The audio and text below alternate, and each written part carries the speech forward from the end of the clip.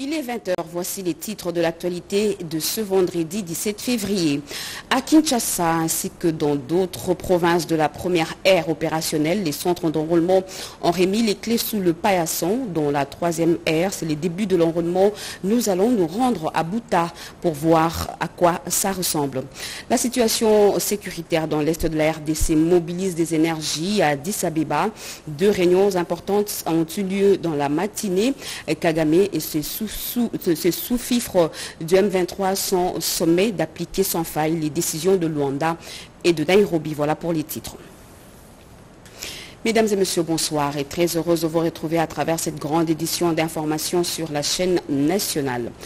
Les lignes commencent à bouger au niveau de l'Union africaine grâce à la diplomatie agissante du président de la République, Félix Antoine Tshisekedi Chulombo. L'Union africaine a organisé ce vendredi deux réunions importantes consacrées à la situation sécuritaire dans l'Est de la République démocratique du Congo. Le M23 et son soutien, le Rwanda, sont appelés à exécuter les décisions des différents sommets. Ainsi, on a décidé le sommet de l'EAC élargi à l'Angola et la réunion du Conseil de paix et de sécurité de l'Union africaine, Giscard Koussema.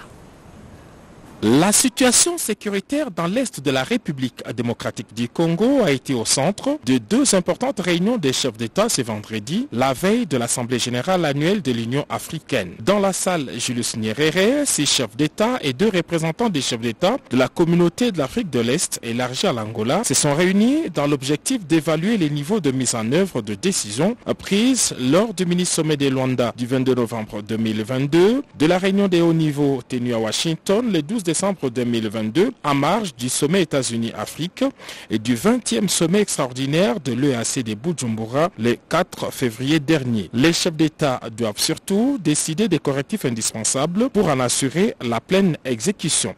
Cette réunion élargie devrait permettre aussi l'harmonisation du Caneva des processus de Luanda et celui de Nairobi. Au cours de ce mini-sommet tenu à huis clos pendant plusieurs heures, les chefs d'État ont aussi examiné et adopté les rapports présentés par les commandants du mécanisme de vérification ad hoc et celui du commandant de la force régionale de l'EAC. Ces rapports, selon plusieurs sources, ont clairement relevé la connivence avérée et documentée du soutien du Rwanda au groupe terroriste du M23. Face à la persistance du M23 et de ses soutiens, les chefs d'État ont partagé un projet de communiqué qui sera amendé, signé et publié dans les 24 heures. En attendant, les chefs d'État ont poursuivi leur discussion sur la situation sécuritaire de la République démocratique du Congo dans la grande réunion du Conseil de paix et sécurité de l'Union africaine. Présidée par le président sud-africain Cyril Ramaphosa, cette réunion du CPS a donné la parole au médiateur désigné de l'Union africaine, Joël Lorenzo, pour partager les résultats liés à sa mission. Le président Félix-Antoine Tshisekedi Chilombo doit aussi prendre parole devant ses pairs en sa qualité de président en exercice de la CEAC et chef de l'État du pays concerné. Des décisions et recommandations de cette réunion sur la RDC sont aussi très attendues.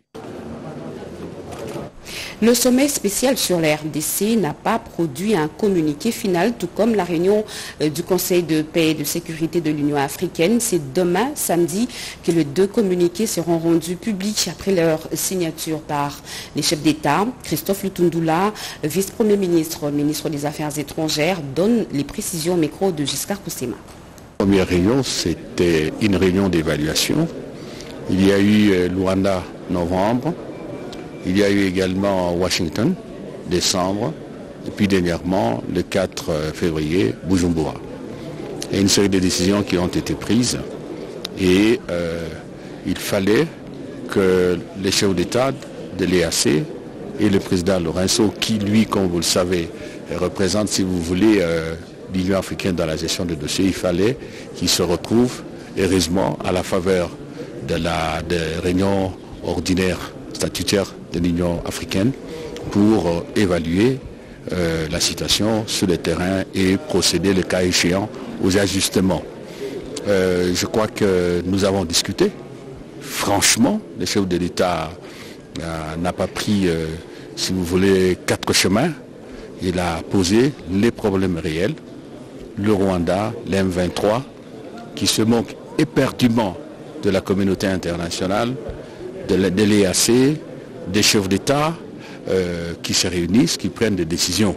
Et le chef, d'État, le président de la République, le président Tshisekedi, n'a pas marché chez mots. Il faut condamner, il faut sanctionner et il faut absolument, absolument que les 23 cessent les hostilités contre euh, euh, euh, les FRDC, les troupes de la MONUSCO, se retirent. il faut que nos compatriotes retrouvent leur domicile de manière que, à travers toutes ces mesures ces actions, y compris la cessation euh, euh, du soutien du Rwanda au M23 et la présence de ces troupes en territoire congolais. Donc, euh, dès lors que tous ces éléments sont réalisés, on peut dire que la voie est vraiment déblayée pour la continuation de manière constructive des consultations que le président a amorcées. Et pour aussi qu'au niveau régional, les gens se parlent en toute franchise, de manière à planter les décors, euh, les, piliers d'une paix durable.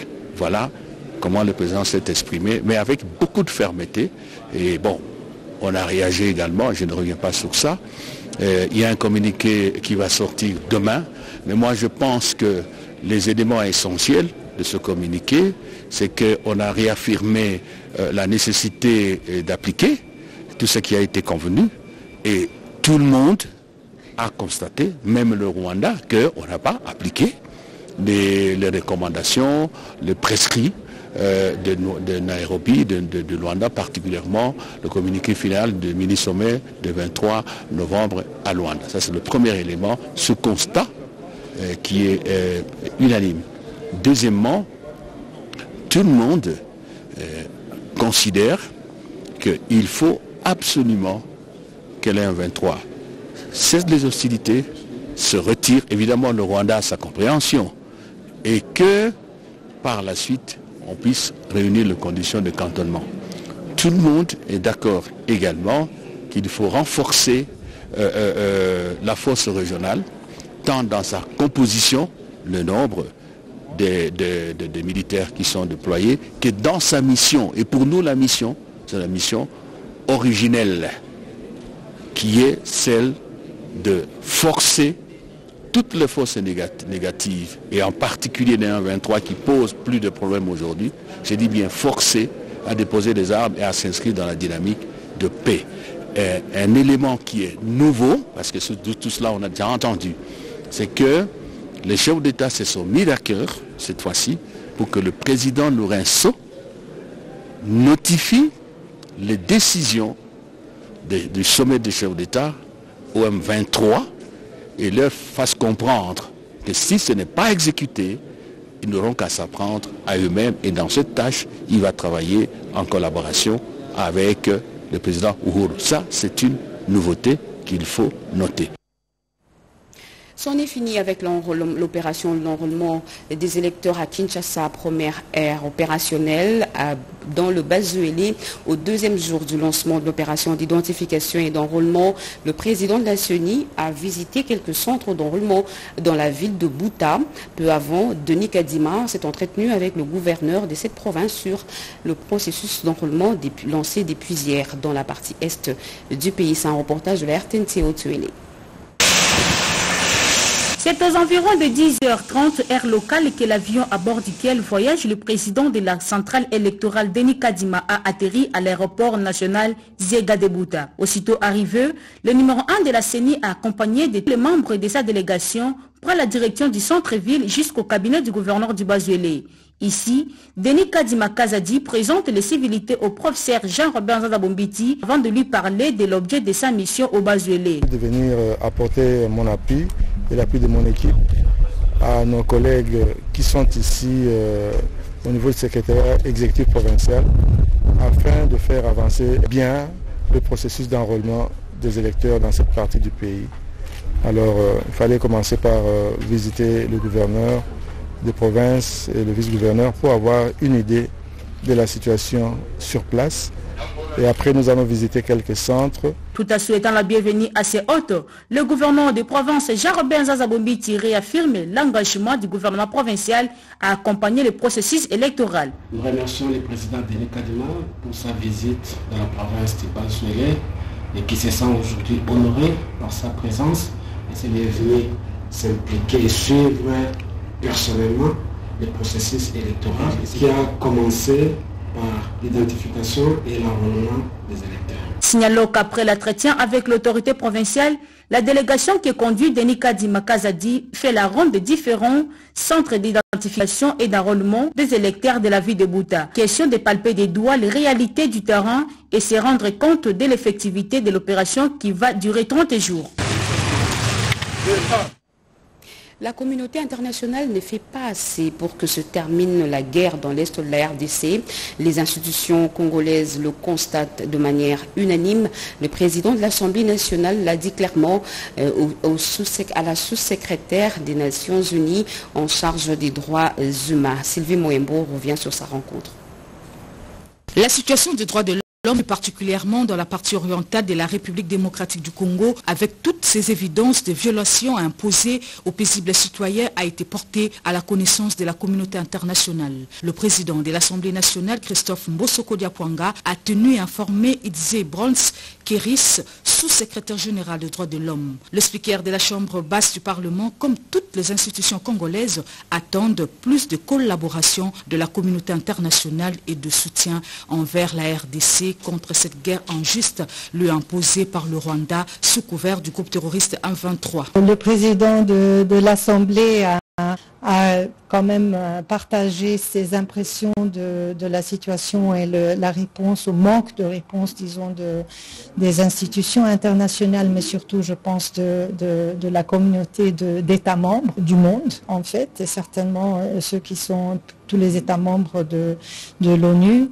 Mais pour nous, c'est euh, notre travail et notre mandat, c'est justement les droits de l'homme. Et je pense que nous, on a aussi euh, insisté sur ce qu'on peut apporter à cette discussion très importante y inclut au niveau global pour être sûr que cette réponse, euh, réponse soit adéquate. Avec une ferme assurance, le sous-secrétaire général aux droits de l'homme a rassuré au président de l'Assemblée nationale l'engagement de son institution pour des solutions plus claires et plus durables sur la guerre à l'est de la RDC.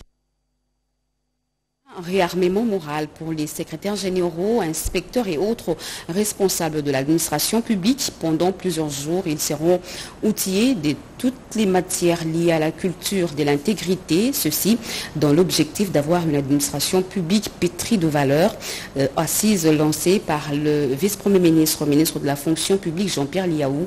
C'est un reportage de Cédric Enina, Nadine Kiloso et Moké Maluma.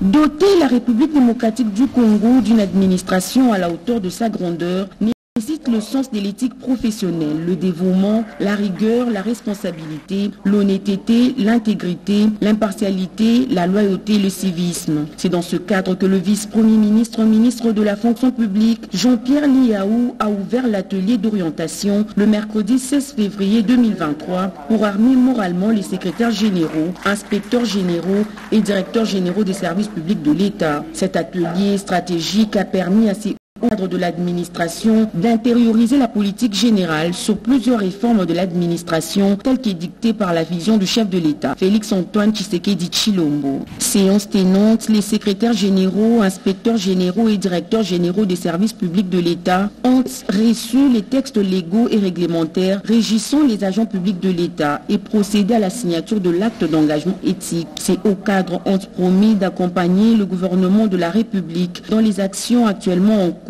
visons la maîtrise des effectifs, la fluidité de départ à la retraite, le rajeunissement qualitatif et compétitif, pour ne citer que cela.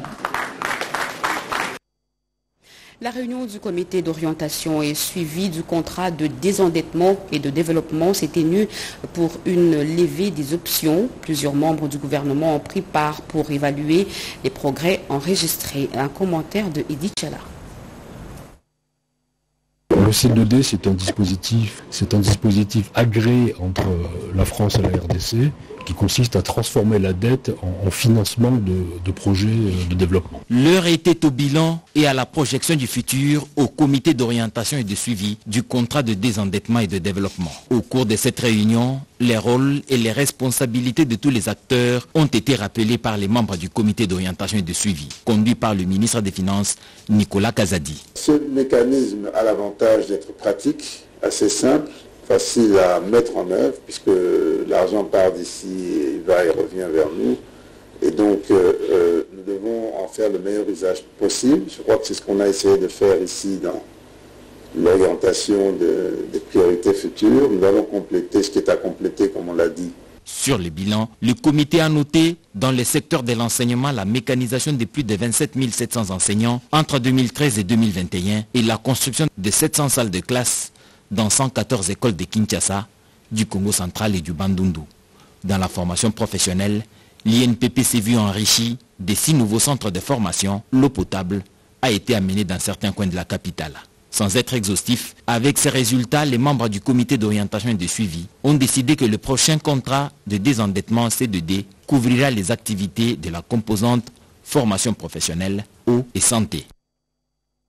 Les commandants de la police nationale de toutes les unités intervenant dans la chaîne de perception des recettes non fiscales ont été sensibilisés sur les notions de civisme et de rédivabilité. Un atelier mixte entre les experts de la DGRAD et ceux de la PNC s'est ouvert hier au commissariat général de la police nationale congolaise. Question d'éveiller la conscience des hommes en uniforme. Iverson Kaboba. Je déclare ouverte la tenue de cet atelier. Outre sa mission régalienne, la protection des personnes et de leurs biens, la police nationale congolaise est également comptée parmi les différents services d'assiette de l'État. À ce titre, elle élabore annuellement des prévisions budgétaires de recettes. Voilà ce qui justifie la tenue de cet atelier mixte avec la Direction générale de recettes administratives domaniales et des participations axées sur la sensibilisation et la vulgarisation en vue d'une mobilisation optimale de recettes générées par la PNC au profit du trésor public. Les travaux lancés par le commissaire général adjoint en charge de la coordination, appui et gestion, le commissaire divisionnaire Benga Maboputa Célestin, avait pour objectif l'engagement de tous pour une augmentation durable de recettes du secteur de la police. Ces travaux qu'on a faits aujourd'hui sont dans la suite logique du lancement de la campagne que nous avons commencé au Palais du Peuple le 23 janvier, je crois. Euh, c'est sur euh, la mobilisation des recettes non fiscales du trésor public dans le secteur de la police nationale congolaise. Ce forum, supervisé par le directeur général de la DGRAD, et le commissaire général de la PNC avec la participation des commissaires divisionnaires adjoints Kamon, Moukaz, Odette et Ndonda Kainji, Jean Bosco, respectivement directeur du budget et de finances PNC, ainsi que le directeur de ressources humaines de la police. Les bus, le bus Transacademia, bientôt visible dans les routes de Kinshasa, ce vendredi, le spécimen des panneaux d'arrêt des bus dédiés au réseau des lignes de trajet a été présenté au public par le ministre intérimaire des Transports, Marc Equila. Ces arrêts auront comme particularité rendre hommage aux différentes personnalités scientifiques du pays décédées ou encore vivant. L'idée avec Richard Kalala. C'est une action qui traduit la bonne évolution du processus de mise en œuvre effective des Trans Academia. Ce vendredi 17 février 2023, il a été présenté au ministre AI de Transport, Voies de Communication et Désenclavement le spécimen des panneaux d'arrêt de bus. Ils seront installés à Kinshasa dans le prochain jour à travers les réseaux de 20 lignes propres à cette entreprise publique qui est autre que celui de Transco, a expliqué Georges Ongelo, directeur général des Trans Academia, accompagné de son DGA José Makengo. Avec une particularité technique, ces panneaux d'arrêt de bus rendent notamment hommage à la crème intellectuelle de la République démocratique du Congo. Nous avons préféré nommer nos arrêts de bus pour euh, immortaliser les, grandes, les illustres personnalités dans les secteurs scientifiques. Dans un autre registre, le ministre AI de Transport, Voies de Communication et Désenclavement, Maître Marc Equila, a présidé une importante séance de travail au siège des lignes maritimes congolaises avec les membres du comité de gestion de cette entreprise publique. Séance au cours de laquelle la mise en œuvre du projet d'acquisition de navires propres au LMC a été abordée. Un projet qui s'inscrit dans le cadre des désenclavements externes du territoire national par voie maritime. Et en nouvelle, l'avenue Cabacélé ex-Flambeau sera de nouveau fermée à la circulation du samedi 18 février. Donc demain, au mardi 28 février, les ingénieurs de l'OVD Kinshasa qui vont couler le béton sur le tronçon compris entre les avenues Syndicat et Kabambaré empêcheront la circulation dans ce coin pour que les bétons sèchent. Le PDK euh, OVD, ingénieur euh, Alain Chimbalanga, qui s'exécute pour ce désagrément, invite les usagers de la route et la population de Barumbu à prendre en entendant la déviation si après avenue Kabaseli, avenue Syndicat, avenue Itaga, avenue Kabambari. Nous y reviendrons. En image, les entrepreneurs de la diaspora décident d'apporter leur pierre à l'édifice que la RDC, notre bien commun, au cours d'un forum dénommé Congopreneur, tenu à Paris en France. Ces enfants du pays ont manifesté leur volonté d'investir en RDC et ce dans plusieurs domaines. Mireille nous disent quoi? RDC de demain a vécu à Paris. La diaspora congolaise réunie au sein de la structure Congo Synergie Club en collaboration avec le ministère de l'entrepreneuriat Petite et Moyenne Entreprises ont au cours de ces assises tenues le 10 février dernier eu à échanger les besoins et les attentes des entrepreneurs de la diaspora congolaise de France afin de contribuer à la promotion d'une classe moyenne en RDC. Ces débats à cœur ouvert entre le DIRCAP du ministère de l'entrepreneuriat Justin Magala et Congo Synergie Club coordonné par Leslie Lundula a permis aux jeunes entrepreneurs vivant en France de s'informer sur le BABA de l'entrepreneuriat afin de réussir leurs affaires en RDC avec l'appui du gouvernement de leur pays d'origine. Aujourd'hui, la RDC, c'est un désert entrepreneurial. Pour nous, ce que nous attendons c'est votre expertise sur le plan des normes, sur le plan du conditionnement, le plan de l'emballage, pour rendre ces, ces incubateurs et cette production efficaces sur le plan autant national qu'international. Ils ont par la même occasion sollicité les allègements fiscaux et des séances de sensibilisation sur l'entrepreneuriat pour bien s'approprier le programme congolais Pronadec visant à accompagner le PME congolaise. Deux assurances fermes l'air ont été données par le directeur de cabinet Justin Magala qui a réitéré la volonté du gouvernement congolais par le truchement du ministère de l'entrepreneuriat de maintenir une étroite collaboration avec la diaspora congolaise, particulièrement celle de France, pour l'émergence d'une classe moyenne en RDC. Jeunes, lèvons-nous pour défendre la patrie. C'est le thème de la campagne patriotique lancée par la, jeunesse, paix, sécurité et cohésion nationale, une initiative du Conseil national de la jeunesse. Rikin C'est une salle de conférence du ministère des Affaires étrangères pleine comme un neuf qui est prise d'assaut ce jeudi 16 février 2023 par les jeunes issus des différentes associations, avec en leur tête le ministre de la Jeunesse. Je tiens à appeler toute la jeunesse à l'unité, à la cohésion pour la défense de notre pays, pour sa mobilisation, car dans moins de trois mois, nous avons eu à mobiliser 10 000 jeunes au sein de notre armée. La coordonnatrice de l'agence chargée de la jeunesse et lutte contre les violences aux femmes de la présidence de la République.